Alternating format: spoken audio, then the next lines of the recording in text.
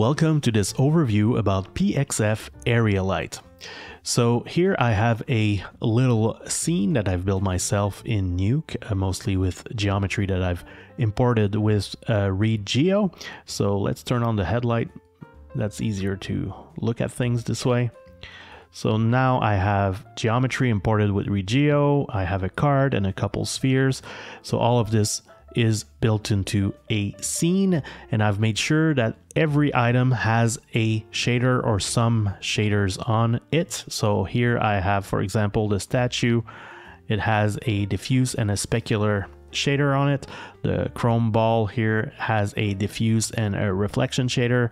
Uh, the gray ball diffuse and specular and so on. So every item is shaded properly and I'm putting everything into a scene node and that scene node is feeding a scanline render. Let's have a look, switch to 2D and nothing shows up. That's because everything is shaded, but there's no lights in my scene. So I can create uh, lights, of course. So if I go in the menu here, pick a point light, for example, and add it into my scene. I can move the light around and this doesn't look very photorealistic, but we can help it a little bit by turning on the fall off, making the light a lot brighter because of the fall off. We need to crank it up. So let's make it way bright. Here we go. And we could uh, turn on the shadows and nothing happens. So if I turn on the shadows, no shadows show up. That's because point lights are not uh, supported with shadows in Scanline Render. However, we do have an alternate render engine in Nuke called Ray Render. So Ray Render is the built-in ray tracer for Nuke, and this guy supports shadows for point lights. So now we have shadows. We also have values that go above one here. The bright stuff goes above one. So to make it nicer to look at, I've added a soft clip at the end of my chain here and it's set to logarithmic compress and I've set the soft clip min to zero. So that's gonna uh, add a little bit of roundness to our highlights here, makes it prettier to look at. So this is somewhat realistic. We have shadows and we have uh, fall off, but we're still stuck with a single point light. So that point light is a literal point light and either the light is blocked or it's not blocked. So there's zero feathering, zero soft shadows. Everything is very hard lit. And we wish we could have an area light, for example, and that's what we have now in Pixelfudger version 3. So let's bring out an area light. Here we go. And let's get rid of our point light and put the area light in our scene. By default, the area light is tiny and it's at uh, the 000 in my scene, so I need to make it bigger. To move, scale, rotate my area light, I need an axis. So I'm gonna create an axis and put it in the axis input. Scale my area light up. Here we go. We're gonna rotate it.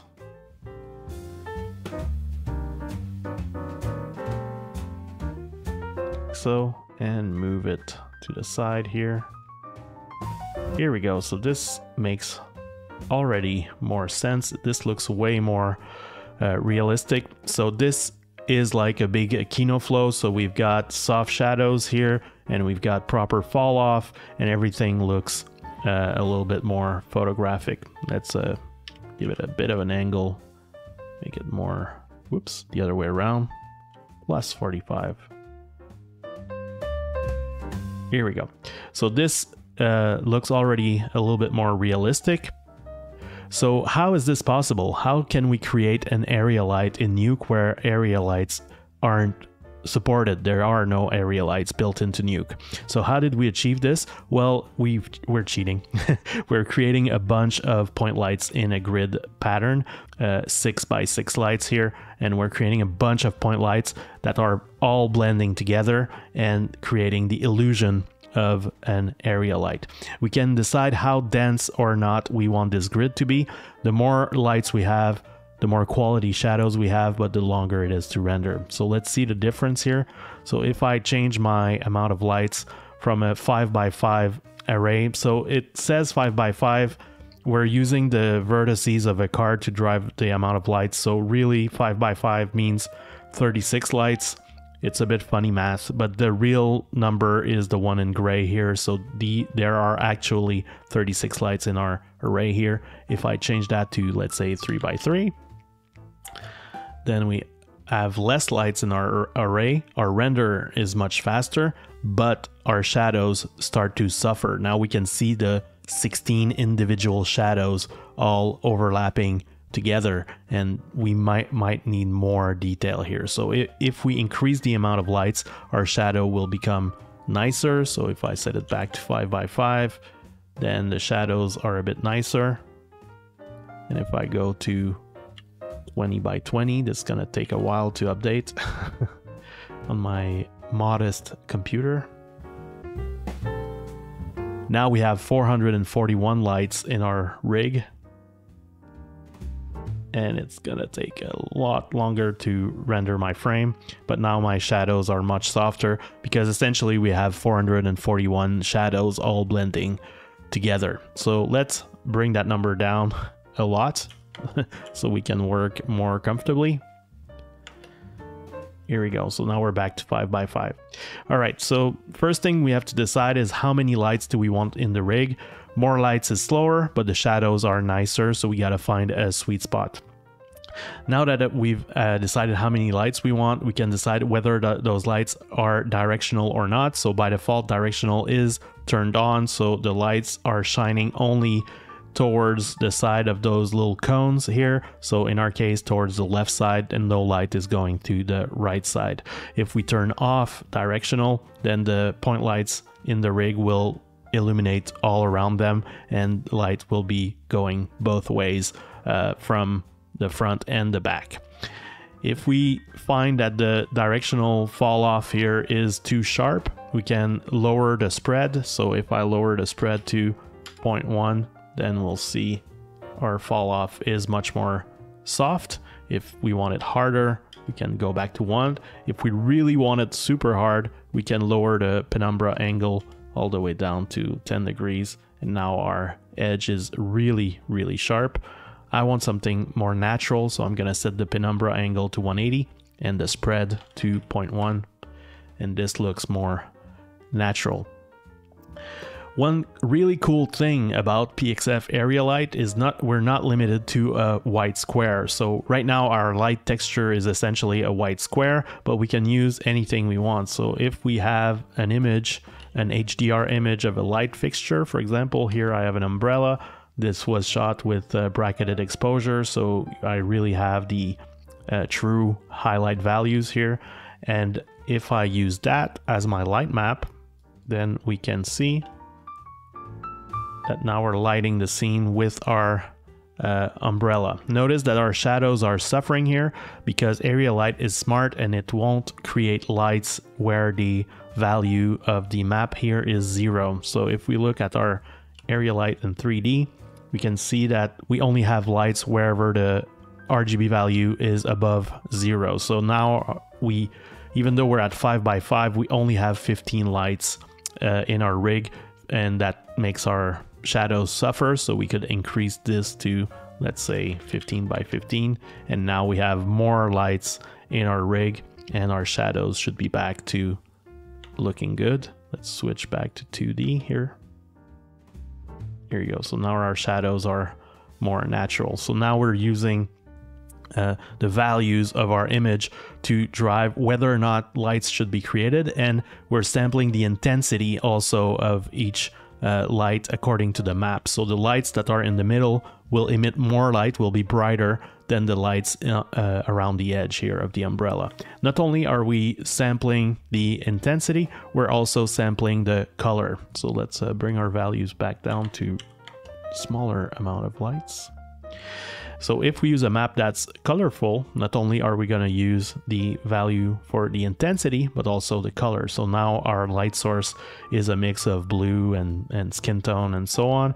So to make this very clear, I have got a map with very obvious colors here, like so. And now our lights are actually uh, colored according to the values of those pixels. So if I look at this, the lights in the red area will emit red light and the lights in the green area will emit green and these guys are emitting blue and so on. So now I have a multicolored light rig. And of course you can use uh, funky shapes. So if I want to simulate a ring light, I could do that. And now I have lights only around the uh, white areas of the ring and not in the middle. Let's bring our values down to something a little bit more manageable. Here we go. So that looks pretty good. We can, of course, turn on and off the shadows. So we can, if we uncheck shadows, then we won't emit shadows. And we have the uh, shadow mode. So we can decide whether or not we're using the texture or the uh, geometry to cast shadows. So let's set up a light here that's a little bit easier to see for shadows. So let's make it smaller. So notice here that even though my card has bits that are transparent, there is a texture on it and we should be able to see through it. We, when we look at the shadow, the entire geometry is casting a shadow on the statue here because our light mode is set or shadow mode is set to solid. So we're using the geometry to determine whether or not the light rays are blocked. Uh, we could use full alpha and then the texture will have an impact on whether or not the light goes through. So now uh, the texture is used to block the rays instead of the, the geometry. There's also clipped alpha. This is ignored by ray render. Uh, ray render doesn't make any difference between clipped and full alpha.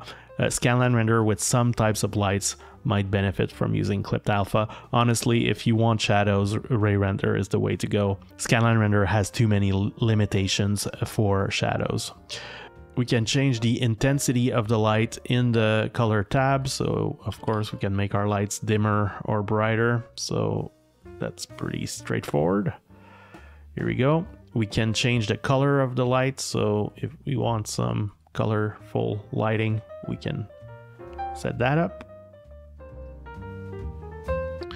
We can change the fall off type. So cubic is the most uh, photorealistic. If you have other uh, needs, you can choose other types of fall off.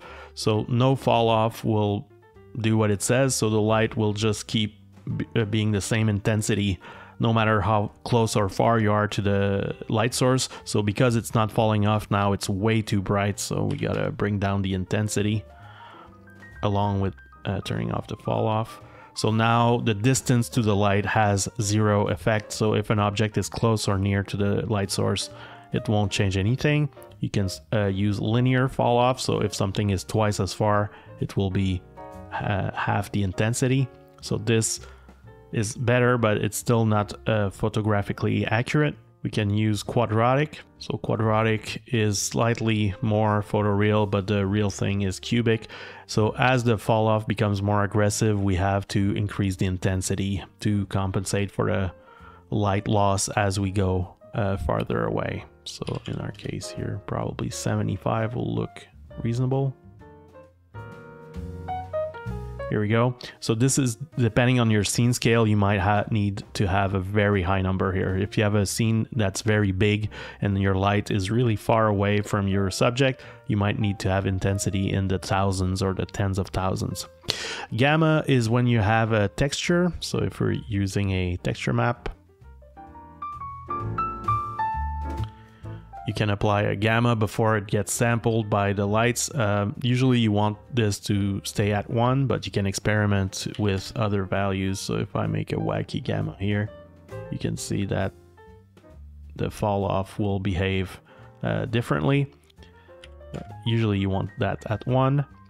The emissive object is necessary if you want to see your light source in reflections. So now you can see the reflection of the ring light in the chrome ball. If you don't want to see your emissive object, you can turn it off under emissive object and disable the emissive object. So the light source will be invisible to camera and to your uh, reflective object here.